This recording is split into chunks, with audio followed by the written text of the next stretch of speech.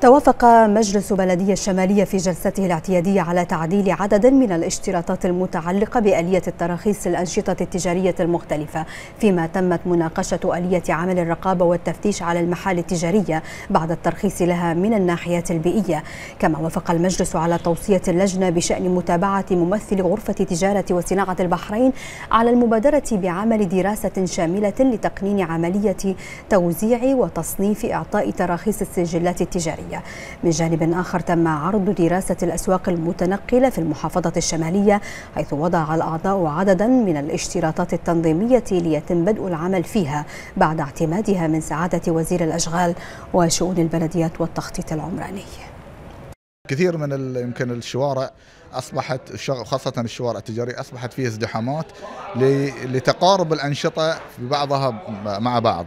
طبعا لقائنا مع الأخوان في وزارة التجارة غرفة التجارة وزارة الصحة الجهاز التنفيذي كان من أجل التنسيق.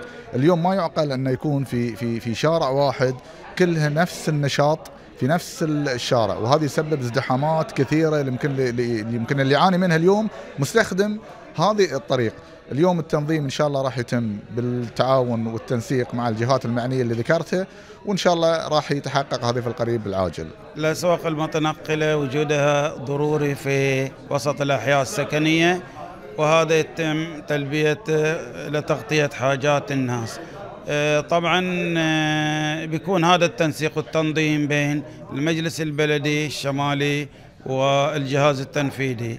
الجهاز التنفيذي بعد دراسة مستفيضة بين آه، المجلس البلدي والجهاز التنفيذي وعلى الباعي الجائلين تم مقترح إلى المقترحات والتوصيات نرفعها إلى سعادة الوزير.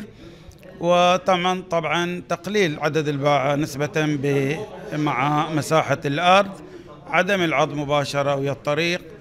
آه، الاستفادة من تجمع الناس في التوعية للأسواق المتنقلة. طبعا تقنين الأسواق المتنقلة وإدراجها تحت الباع الجائلين. طبعا آه، الترخيص بيتم إصدار بطاقة إلى البائع نفسه هو اللي يستخدمها فقط.